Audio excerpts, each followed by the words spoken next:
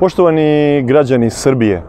osjećam potrebu da vam se obratim nakon završetka sastanka koji sam upravo imao sa delegacijom Republike Srpske koju su činili predstavnici njihovog političkog života kako vlasti, tako i opozicije, a koja je održan povodom ovih najnovijih dešavanja u Republici Srpskoj i pritisaka koje Republika Srpska trpi nakon donošenja inskovih izmena krivičnog zakona i pokušaja da svako onaj ko negira genocid u Srebrenici završi u zatvoru. Naravno da sam svestan, kao što je to bilo svesno i predsjedništvo Srpskog pokreta dveri, kada smo doneli odluku da se pojavimo na ovim razgovorima zajedno sa predstavnicima vlasti i opozicije ovde u Srbiji, da će to doživjeti brojne negativne komentare na društvenim mrežama, da će se pojaviti razne slike sa toga događaja i da će se svi pitati zašto je Srpski pokret dveri onda bio prisutan na jednom takvom dijalogu kome prisustuju i predstavnici vlasti u Srbiji. Pa evo prilike da to i obrazložim. Najpre, odazvali smo se iz istog onog razloga kog, zbog koga smo se odazvali pozivu da razgovaramo o Kosovu i Metohiji. Očuvanje Kosova i Metohije u sastavu Srbije i odbrana i očuvanje Republike Srpske verovatno su dva naša najveća nacionalna i državna prioriteta. Kada je u pitanju odbrana naših nacionalnih i državnih interesa, onda sve ideološke i političke razlike treba staviti u drugi plan.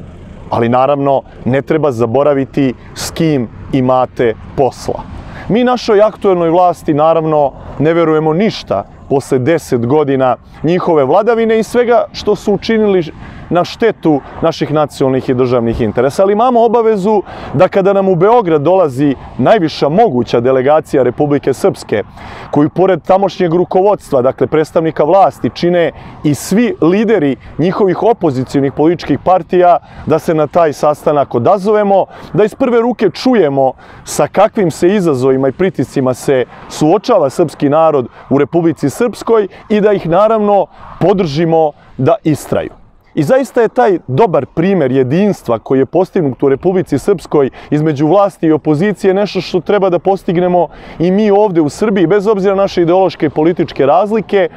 jer je u ovom trenutku važno podržati Republiku Srpsku i njenu očuvanje. Kao što niko od njih, vodećih opozicionara iz Republike Srpske, koji su godinama ogorčeni protivnici politike Milorada Dodika, nije prestao da bude opozicija tako i mi ovde u Srbiji, koji smo prisustvovali ovom e, susretu sa delegacijom Republike Srpske, nismo i nećemo prestati da budemo opozicija ovde u Srbiji. Ja razumem naravno zlonamerne komentare koji dolaze iz redova opozicione konkurencije ili raznih zlonamernika na društvenim mrežama i na to se ne obazirem. Želim da se obratim dobronamernim građanima Srbije i pre svega članovima Srpskog pokreta dveri i da objasnim našu motivaciju zašto smo mi učestvovali još na ovom sastanku. Pre svega prvobitna odluka predsjedništva Srpskog pokreta dveri bila je da ne idemo na ovaj sastanak jer nismo imali zvaničan poziv, poziv je došao usmeno na međustranačkom dijalogu u Narodnoj skupštini, nismo znali ništa o formatu, učesnicima i ostalim detaljima ovoga sastanka i zato je jučerašnja odluka predsjedništva Srpskog pokreta dveri bila da se na taj usmeni poziv ne odazovemo. Kada smo međutim danas dobili zvaničan poziv iz Narodne skupštine Republike Srbije, kada smo obavešteni da će na tom sastanku prisustovati predstavnici i vlasti i opozicije iz Republike Srpske, kada smo obavešteni da će tema biti aktuelna politička situacija i pritisci koji se vrše na Republiku Srpsku, naravno da smo osjetili osnovnu patriotsku obavezu da se jednom takvom pozivu odazovemo.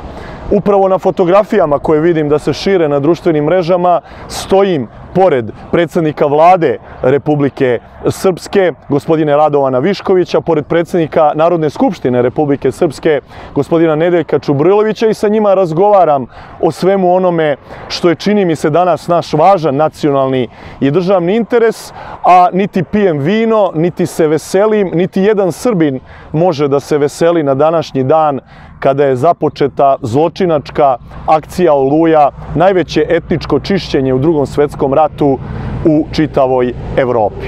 U tom smislu ono što smatram veoma važnim naglasiti jeste šta je ono što sam ja tamo rekao i zapravo šta je i bila odluka predsjedništva Srpskog pokreta dveri da mi na tom sastanku zastupamo što sam imao priliku da izložim pred pri, svim prisutnim e, ljudima iz Republike Srpske i Srbije. Pre svega mi smo tražili da posle 80 godina od otvaranja monstruoznih koncentracionih logora smrti Jadovno i Jasenovac konačno i u Skupštini Srbije i u Skupštini Republike Srpske imamo jedinstvenu rezoluciju o genocidu nad Srbima, Jevrejima i Romima u nezavišnoj državi Hrvatskoj. Smatram da je to naš istorijski dug prema svim našim stradalnicima u tom nesrećnom 20. veku. Također smo predložili da u Srbiji bude donet jedan sličan zakon kao ovaj u Republici Srpskoj, kojom će se zabraniti, odnosno strogo kazniti svako onaj ko Srbiju, Republiku Srpsku ili srpski narod u celini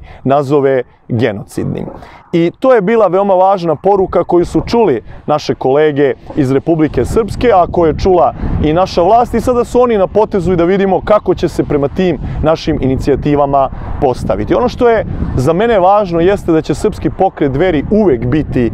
tamo gde se brane srpski nacionalni i državni interesi, a da će sa druge strane po svim našim drugim unutrašnjim političkim pitanjima ostati čvrsta opozicija aktuelnoj vlasti. I zato bih voleo da vidim mnoge od tih opozicijonih dušebrižnika i zlonamernika šta su oni uradili u borbi protiv ove aktuelne kriminalne i nedemokratske vlasti u Srbiji i ko je od njih uradio više i u parlamentarnoj i u van parlamentarnoj borbi. Lako je naravno biti junak i opozicionar na Twitteru, ali je veoma teško izaći na crtu aktuelnoj vlasti i suprostaviti im se svuda i na svakom mestu kao što je to godinama unazad činio srpski pokret veri. Zato pozdravljam sve naše saborce i članove i pristalice Srpskog pokreta dveri i kažem im otvoreno i veoma direktno da mogu da budu ponosni što pripadaju trenutno najaktivnijoj opozicijonoj političkoj organizaciji u Srbiji, ali koja nikada neće biti opozicija svojoj državi